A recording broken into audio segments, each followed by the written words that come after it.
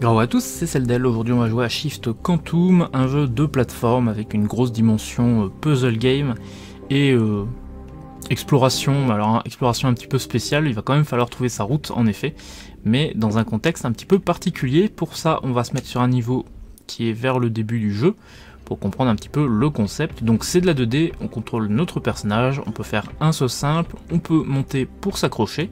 Et la capacité spéciale de notre personnage dans ce monde, qui est une sorte de réalité virtuelle d'après ce qu'on comprend, c'est de traverser le sol et d'inverser le sol et euh, l'air, on va dire. Ce qui fait que là, je suis dans les zones qui étaient noires auparavant.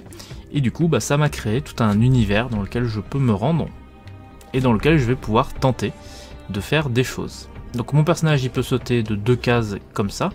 Et il va falloir que je trouve une façon d'atteindre la sortie qui est par exemple tout en haut. Donc ici par exemple c'est pas trop dur, je rentre dans le sol, je regrimpe ici pour rentrer dans la petite cavité et je suis là où il fallait. Donc au début ça retourne un petit peu la tête, hein. c'est pas pour rien que l'écran change de côté, il va falloir s'habituer un petit peu. Après on commence petit à petit à comprendre les principales mécaniques qui nous permettent de progresser en accrochant des blocs euh, noirs ou des blocs blancs en fonction de là où on veut aller. On a à chaque fois un petit objectif secondaire. Donc là par exemple pour terminer le niveau c'est facile, c'est à gauche. L'objectif secondaire c'est l'espèce de petit glitch qu'on voit à droite, tout en haut à droite de l'écran. Donc qui est un élément euh, secondaire à récupérer, qui va sûrement nous permettre de faire quelque chose à force, peut-être dans l'histoire ou pas, pour l'instant je sais pas encore vraiment. Et ça va bah, du coup nous forcer à emprunter une voie alternative pour aller le récupérer, euh, qui est euh, bah, beaucoup plus compliqué en général pour la voie euh, classique.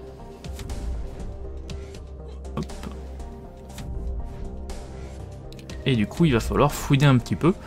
Bon, ici, c'est pas bien compliqué, les niveaux sont relativement petits. Et puis surtout, bah, la seule mécanique réelle, c'est simplement traverser le sol. Parce que, évidemment, bah, plus tard, on va avoir d'autres mécaniques de jeu qui vont rentrer en ligne de compte. Comme par exemple la capacité de pousser des caisses, des caisses qui seront noires ou des caisses qui seront blanches.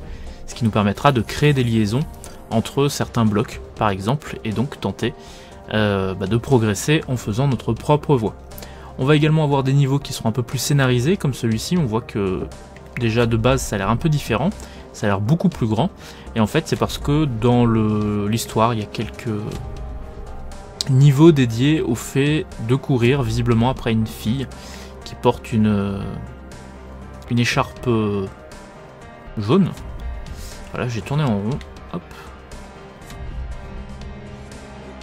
sauter ici. Et du coup, bah, on va un petit peu le courir après. Des fois, ça va introduire de nouvelles mécaniques de jeu, potentiellement. Et on va découvrir bah, au fil de l'aventure un petit peu euh, quel est le lien par rapport à cette fille. Et ce qu'on attend de nous. avec de jolis... un joli fond. Donc ça c'est un, un pseudo niveau on va dire. Donc on va pas continuer. Ce qu'on va faire, c'est qu'on va retourner dans des niveaux un peu plus avancés qui vont proposer davantage de mécaniques. Euh, par exemple, allez, celui-là. Donc dans celui-là, on va avoir deux nouveaux objets simultanément. On va avoir euh, les boutons et on va avoir les caisses. Alors pour l'instant, pas grand-chose de neuf. Ici, on voit les caisses. Le problème c'est qu'ici la caisse elle est trop haut, on peut pas la récupérer et c'est une caisse qui est noire donc ça veut dire que euh, potentiellement si je la pousse elle me permettra dans certains endroits de relier des endroits euh, noirs pour rentrer dedans. Si j'appuie sur le bouton ça ouvre l'élément, on voit au passage que ça alterne les plateformes. Bon, à partir de là c'est pas trop compliqué, on comprend assez vite ce qu'on peut faire. En haut on voit qu'il y a le glitch, on va le récupérer tant qu'on le peut. J'ai raté. Allez, c'est bon. On va pousser la caisse, comme ceci. On laisse la caisse sur le bouton et on a la plateforme pour traverser. Du coup on passe à la zone suivante. On voit qu'il y a deux boutons, un à gauche et un à droite, et les deux boutons font strictement la même chose. Alors ce que j'aimerais bien faire, par exemple ici, si je descends, on voit que je peux pas aller chercher le glitch qui est en bas à droite. Parce que en bas là, bah, j'ai cette zone, mais cette zone elle est isolée, elle me coince. Donc ce que je peux faire par exemple avec ma caisse, c'est la pousser, ce qui va me relier les deux zones noires, comme ceci. Et donc maintenant quand je rentre, eh bien j'ai un passage qui va me permettre d'aller chercher par exemple ici le glitch. Mais évidemment on va en avoir besoin pour faire beaucoup d'autres choses. Donc là je vais par exemple pouvoir pousser la caisse comme ici. Et après je grimpe tout simplement. C'est facile. Ce sont les premiers niveaux euh, qui mettent en jeu des boutons. Donc pour l'instant on reste plutôt calme. Ici si j'appuie ça permet d'enlever la barrière. Moi la barrière je peux la passer par le... Enfin par en dessous donc ça me va pour l'instant. Je peux passer comme ça. Le glitch il est très facile à récupérer pour l'instant. Euh, la caisse à gauche je peux pas en faire grand chose a priori. Le bouton là il permet de transformer en noir à droite donc... Euh, moi ça me va pas mal, à part que maintenant bah, j'ai plus de trucs à droite. Donc ça, ça me va un peu moins bien. Euh, alors ce que j'aimerais maintenant du coup, c'est que le bouton de gauche il fait exactement ce que fait le bouton de droite. Donc mon objectif c'est de libérer la caisse de droite, donc je vais utiliser celle de gauche pour appuyer, comme ça. Et du coup la caisse de droite est libre. Et si je pousse ici, il y a bien des boutons qui appuient, donc à droite, là le bloc est bien noir, donc moi je peux traverser. Et on est bon.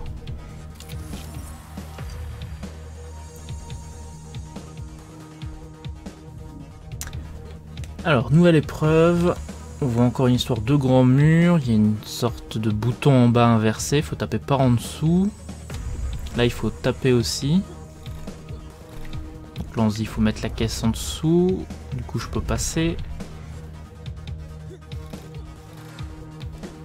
Euh, alors là où on a une caisse.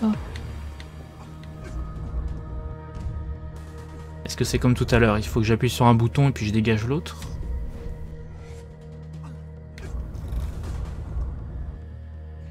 Oui, c'est ça. Comme ça, ici, en fait, ce que je peux faire, hop, c'est aller créer là où je me trouve le passage.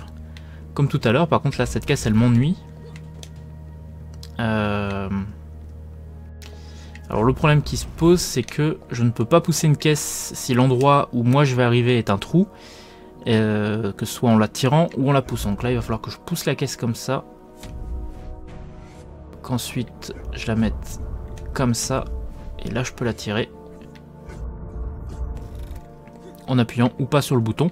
Alors si je voulais aller récupérer le glitch à gauche, évidemment, il fallait que je me serve d'une caisse en support pour aller à gauche, que je trouve une façon d'en libérer une. Et donc là, bah, je peux passer.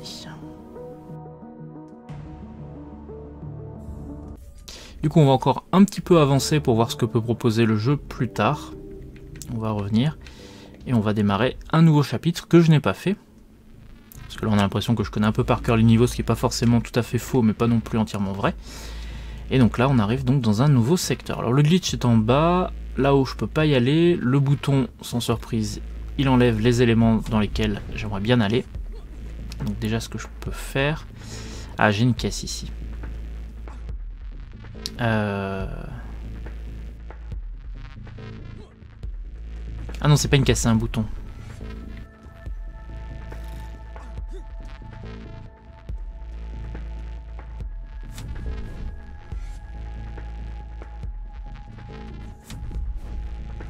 Ah oui, non, d'accord. Il faut que je grimpe la, colonne à droite, donc il faut que je tombe ici dans le puits. Que je remonte. Donc ici, je peux pousser le cube là. Je le fais tomber. Et sans surprise, je peux maintenir le bouton. Euh, et ici, en sautant bien, normalement, voilà. On est bon.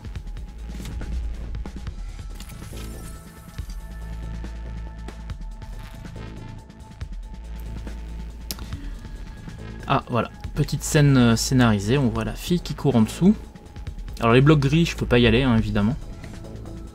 Du coup, il faut à chaque fois que je trouve une façon de rentrer dans les murs. Le problème, c'est que les murs, on peut rentrer dedans. Enfin, c'est que par les sols, en fait.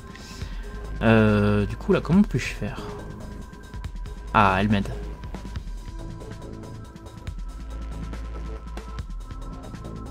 Alors, sur quoi Ça fait quoi là où elle a Ah, ça enlève les, les éléments gris, d'accord. Donc là, elle me suit. Donc elle va me permettre de traverser.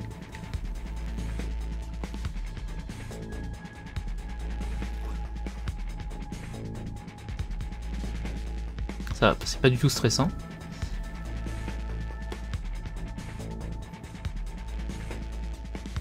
On est passé.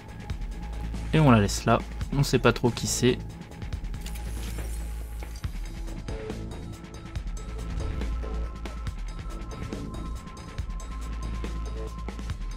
Alors là, ça appuie sur un bouton. Je suppute que si je tire la caisse, je vais tomber.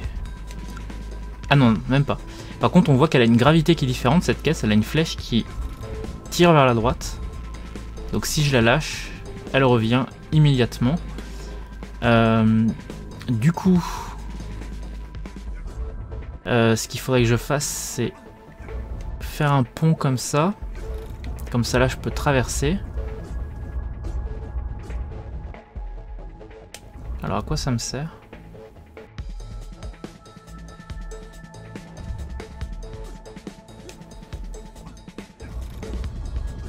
Ah si, d'accord, j'ai compris.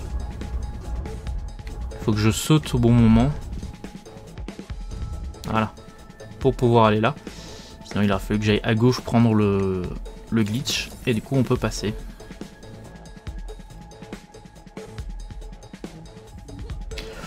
Voilà, on va pas continuer forcément beaucoup plus. Le, jeu reprend des mécaniques et les réutilise de façon intelligente. Oui, on ajoute deux nouvelles, mais là on a eu un, petit aperçu un petit peu de, ce que ça offre comme, comme gameplay. Donc le jeu coûte 20 euros, il est sur Windows Switch PS4 et Xbox One, et il est assez sympa si on aime le, genre plateforme réflexion dans ce genre, qui retourne un petit peu la tête, hein, évidemment, faut pas être euh, allergique au fait de retourner l'écran en permanence, mais du coup le jeu est plutôt intéressant dans ce qu'il propose. Il n'y a pas forcément beaucoup d'éléments qui sont exceptionnels et qu'on n'a jamais vu, je trouve, mais il y a quand même des idées qui sont euh, plutôt intéressantes, avec euh, surtout bah, l'addition, comme souvent dans ce genre de jeu, des mécaniques entre elles qui vont venir se combiner dans des situations qu'on n'aurait pas forcément beaucoup imaginées quand on les a découvertes euh, chacune une par une. Allez, du coup, je vous remercie d'avoir suivi cette vidéo, j'espère qu'elle vous a plu. Je vous fais des papouilles et on se dit à très bientôt.